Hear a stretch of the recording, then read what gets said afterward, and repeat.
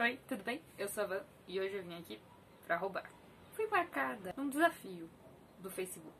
Só que eu não uso o Facebook direito. Eu tenho preguiça do Facebook. Eu não queria ficar sete dias indo para o Facebook responder o desafio. Então o que eu decidi fazer? Eu decidi transformar isso num vídeo. A ideia então é vir gravar um tiquinho durante sete dias, seis no caso, tirando hoje, é, falando um pouco sobre os livros do meu coração. Vou ler o desafio. O desafio é publicar livros que se ama, um por dia, por sete dias e apenas as capas. Eu vou falar um pouquinho deles, já vou roubar de novo. Fui desafiada pelo senhor Juliano, meu namorado, e não desafiarei ninguém. Nesse momento, porque né, não vou ficar colocando uma pessoa, mas se você quiser comentar seus sete livros do coração, pelo menos alguns deles, agradeço. Eu não ficar falando sozinha aqui. É... Então, vamos compartilhar leituras e uma lista de livros. Esses livros não são necessariamente os melhores livros já escritos pela humanidade, mas são livros que eu realmente gosto muito, muito, muito, muito. E que são bons, sim. Gato, para de se mexer.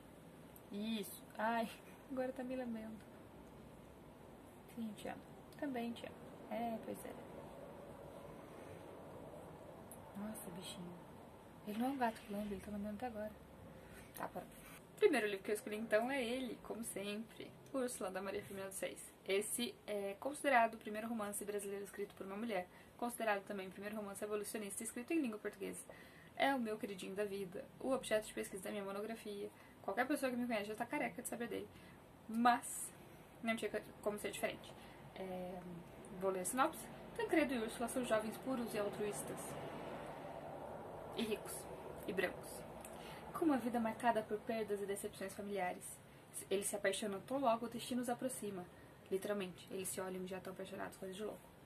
Mas se deparam com um empecilho para concretizar seu amor, combinando esse, esse enredo ultra romântico, ultra, ultra romântico, e uma abordagem crítica à escravidão. Essa é a parte mais interessante, talvez. Maria Firmina dos Reis compõe Úrsula, um dos primeiros romances brasileiros de autoria feminina, em 1859. Oi! Oi! Oi! Pra minha segunda escolha desse desafio, é, eu vou roubar de novo. Na verdade, eu escolhi dois livros, que são os diários. Os diários da Susan Sontag. A Susan foi Sontag. Sontag. É, eu não sei como fala. Cada um fala de um jeito, é confuso.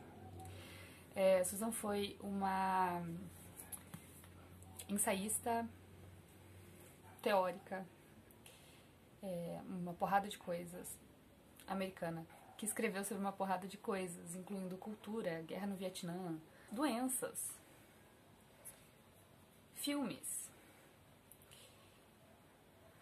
cultura pop versus cultura erudita, enfim, que eu gosto muito. Eu optei pelos diários porque tem alguma coisa de muito fascinante em você conhecer o íntimo e a vulnerabilidade daquelas pessoas que você acha geniais. E entender que elas têm problemas, inseguranças e. Enfim, acho que de alguma forma faz com que elas fiquem mais próximas a você. Então, é isso. Esses são dois livros que eu claramente gosto muito e que eu volto bastante, talvez nos meus momentos mais complicados. E nos felizes também, porque é gostoso pegar umas dicas com minha colega. Eu voltei com chá de hortelã na minha caneca da Amanda Palmer para dizer que eu pensei seriamente em colocar a arte de pedir aqui, mas que eu optei por um daqueles livros que eu morro de medo de reler e descobri que nem é mais tudo isso. Eu não tenho uma edição física desse livro, então vou deixar a capa em algum dos lados. Mas eu escolhi o Narciso e Goldmund, do Hermann Hesse, e eu vou ler a sinopse aqui no computador, porque, sim. A história se origina em um convento situado em algum lugar da Europa Central. Aí também entra a parte do tenho medo de reler e descobrir que nem é mais tudo isso. Narciso é um noviço de inteligência brilhante, racional e contido. Goldmund é um jovem aluno de, do convento de intensa beleza física e profundas inquietações existenciais. Esses dois opostos são atraídos quase que magneticamente e passam a representar os arquétipos de Apolo e Dionísio e de Vishnu e Shiva no contexto do romance. O enriquecimento mútuo que resulta destes diálogos encerra uma lição ainda atual para um mundo que permanece dividido entre fundamentalismos diversos. Esse é um livro que eu li em 2013, eu acho, ou 2014, e que até hoje é a minha resposta oficial para quando me perguntam qual é a minha história de amor preferida. Apesar de ou talvez por não ser exatamente uma história de amor romântica. Voltei para um daqueles nada clássicos e recorrentes exemplos de ainda bem que eu tive que ler isso por obrigação. Provavelmente, se eu não tivesse que ler isso por obrigação, eu talvez jamais pegaria nesse livro. Por medo mesmo, de não entender, de ser difícil demais, de não ter capacidade, sei lá. Estamos falando de outro livro que eu não tenho aqui comigo, mas aceito de presente, porque eu tô morrendo de vontade de reler, que é O Grande Sertão Veredas, que vai aparecer em algum lugar. E aí, a sinopse não que eu acho que precise, mas vai. Nessa obra de Guimarães Rosa, o sertão é visto e vivido de uma maneira subjetiva e profunda, e não apenas como uma passagem a ser descrita, ou como uma série de costumes que parecem pitorescos. Sua visão resulta de um processo de integração total entre o autor e a temática, e dessa integração, a linguagem é o reflexo principal. Para contar o sertão, Guimarães Rosa utiliza-se do idioma próprio do sertão, falado por Riobaldo em sua extensa e perturbadora narrativa, extensa mesmo, perturbadora também. Encontramos em Grande Sertão Veredas dimensões universais da condição humana, o amor, a morte, o sofrimento, o ódio, a alegria, retratadas através das lembranças de um jagunço em suas aventuras no sertão mítico e de seu amor impossível por Diadorim.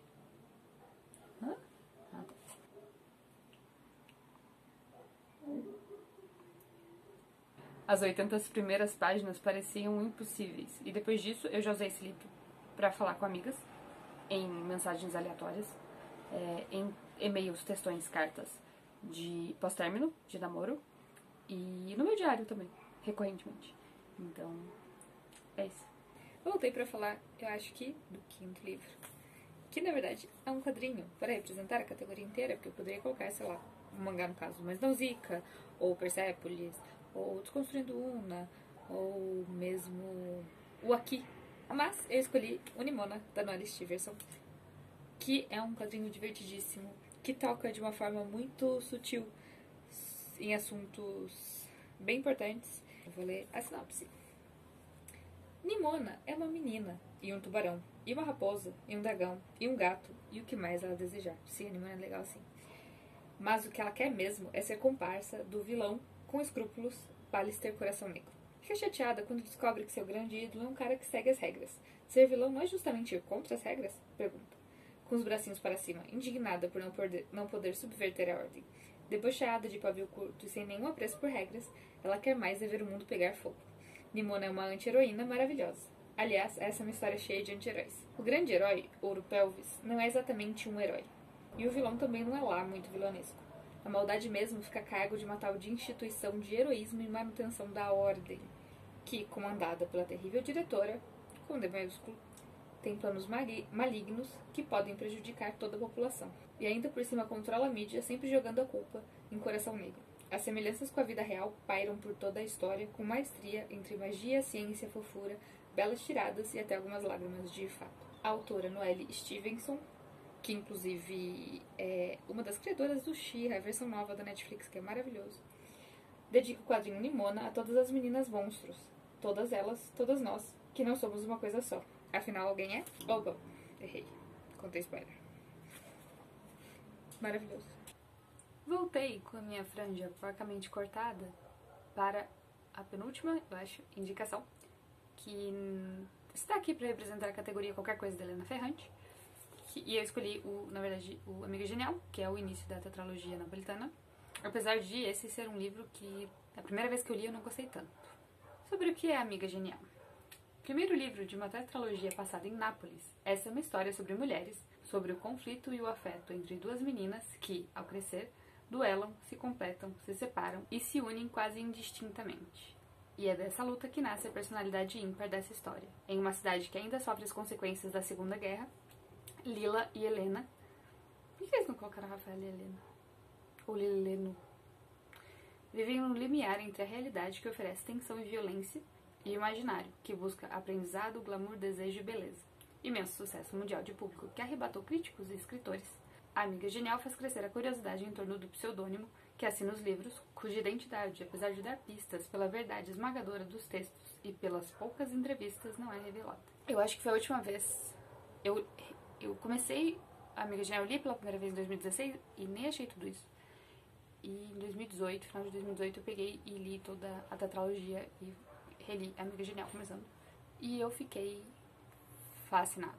Eu fiquei obcecada. Eu li tudo de uma vez. eu mudei planos, eu deixei de estudar pra prova pra ler esse troço. Então acho que foi a última vez que eu fiquei obcecada dessa forma com alguma coisa. E. enfim, é triste, não se engane pela capa fofa, é triste, é pesado, é sofrido. E eu, infelizmente, me identifico absurdamente com o Lenu.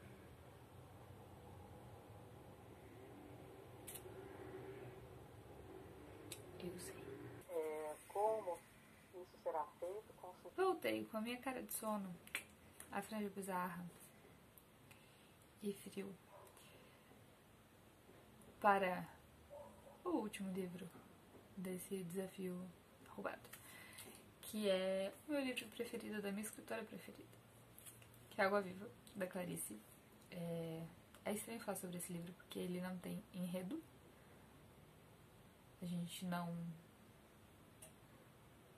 não consegue classificar também o que ele é, ele é um, uma novela, um monólogo, não sei, mas